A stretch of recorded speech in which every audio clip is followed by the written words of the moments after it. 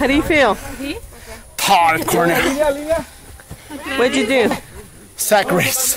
And what place did you come in? They say first, I say second. Hmm. Good job.